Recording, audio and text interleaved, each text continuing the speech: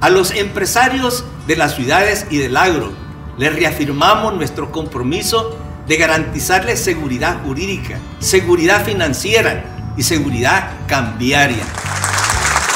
Y con el combate intenso a las redes de extorsión, vamos a ofrecer más confianza a los inversionistas internos y externos. Estamos listos para eso. Salvador y Oscar, adelante.